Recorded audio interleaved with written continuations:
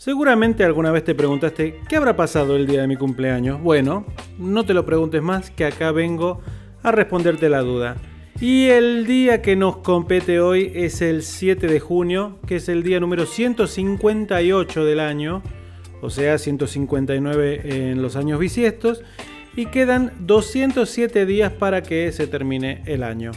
Bueno, en este día hay tres celebraciones fundamentales que vale la pena mencionar. La primera es el Día Mundial de la Inocuidad de los Alimentos, que se celebra desde 2019 y fue proclamado, como no podía ser de otra forma, por la ONU, que siempre están las cosas importantes de este mundo.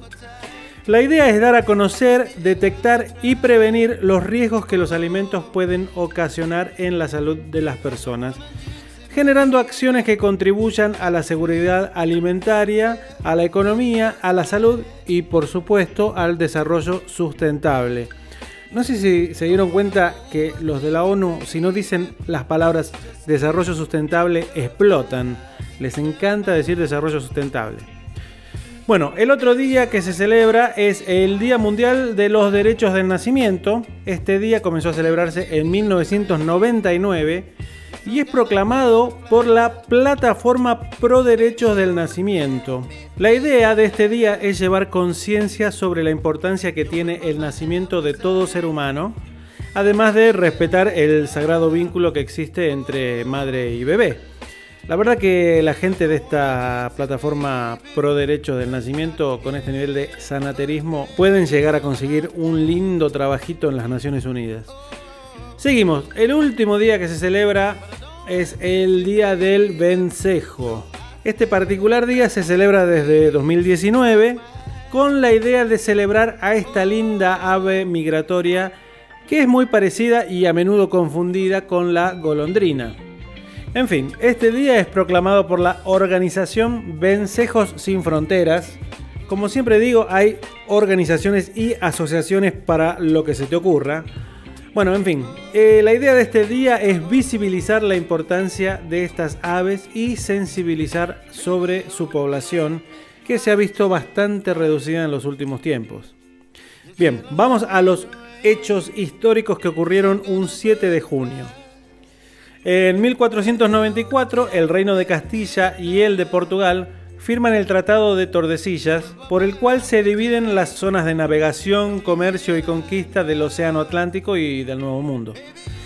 En realidad cada uno de los firmantes tenía sus prioridades. Los portugueses no querían que los castellanos se metan en la ruta a la India, que pasaba por el sur de África, y los castellanos no querían que los portugueses anden por las recientemente descubiertas Antillas.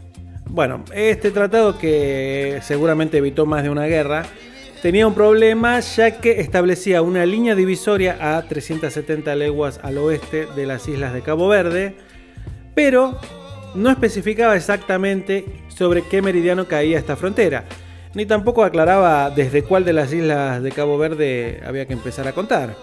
Bueno, esto llevó a que la frontera que pasaba por Sudamérica no esté muy clara, ya que unos decían que era más para acá, los otros decían que era más para allá.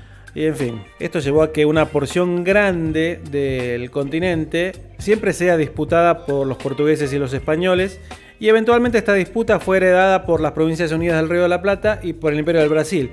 Bueno, eventualmente todo se arregló después de una guerra, claro, con la creación de un Estado tapón independiente que no pertenece ni a uno ni a otro. Y obviamente estoy hablando de la República Oriental del Uruguay. Bueno, en 1839, en China, el emperador prohíbe el comercio del opio que estaba haciendo estragos en las poblaciones de las grandes ciudades de China. Se ordena además la destrucción de todo el opio que se encuentre y esto terminaría de provocar la guerra del opio en la que el Reino Unido luchó contra los chinos básicamente por su derecho a envenenar a una nación. Bueno, en 1914, para ir terminando, en Panamá se realiza el primer cruce interoceánico por el Canal de Panamá. El primer barco en pasar fue el Transatlántico Alliance de 40.000 toneladas, era un barco de bandera americana, y el cruce se hizo desde el Atlántico hasta el Pacífico. Chicos, hemos llegado al final del video, espero que les haya resultado interesante. Ahora no solamente saben un montón de cosas que han pasado y que pasan el día de su cumpleaños, sino que además tienen un montón de datos para sacarle conversación a los tíos en las reuniones familiares. Hasta luego, chao.